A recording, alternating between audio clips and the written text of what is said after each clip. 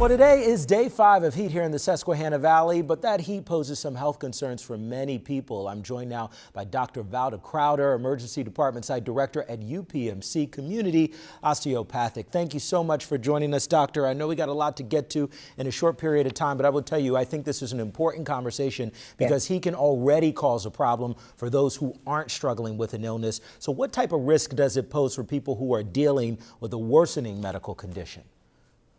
Yeah, so those folks with uh, diabetes and kidney disease uh, and uh, also uh, heart disease are more likely to have uh, problems with autoregulation and um, of their body temperature. So they're more likely to uh, experience some sort of heat exhaustion or heat stroke or heat emergency.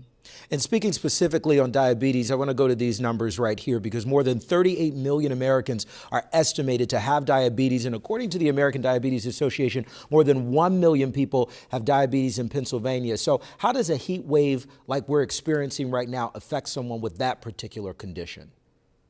Yeah, so diabetics usually have what they call small vascular disease. So it's throughout their body. So that again causes problems with them being able to regulate, being able to sweat the way they normally can sweat, like a, the way a person without diabetes would sweat, which is very important for evaporation of the heat.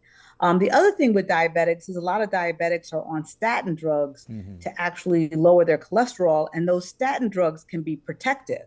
So I always tell diabetics when it gets hot like this, make sure to take your statin drugs because that is the one thing that can increase blood flow and can really help during this time period. Well, you went straight into my next question because I was going to say, as far as medication, does that heat have any impact on people who are taking those antibiotics overall? Yeah, so there are several classes of antibiotics where they're more likely to get either a sunburn or a sun rash.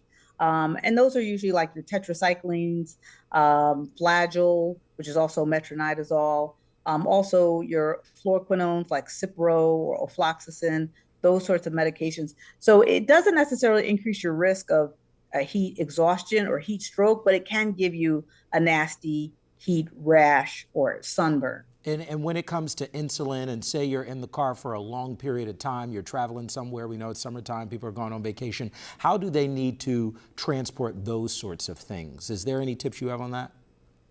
Yeah, so you want to make sure that your your insulin stays um, at, a, at a refrigerated temperature, whether or not it's on ice or in a little cooler. You want to make sure that that sort of stays at a at a refrigerated temperature until it's time to actually take it out and actually use it, because it can be it can get quite the, the medication can get quite warm if it's out, and then it's less effective. And overall, you know, as we continue to go through this heat wave over the next couple of days, what do you want people to know? If someone out there is watching this interview, they have diabetes, they have any medical condition, what is the one thing that you want them to take away so they can stay well in this weather?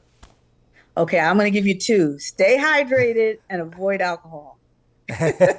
Those are some good tips now. I know it may be hard for some folks though, because it's a little hot outside. But, I know, uh, Fourth of July coming up and all the picnics, right? I know, I know. It's going to be hard for some people, but that is great information. Listen, Dr. Valda Crowder, thank you so much for taking time to come and talk to us. You're we welcome. truly appreciate right. it. You're welcome.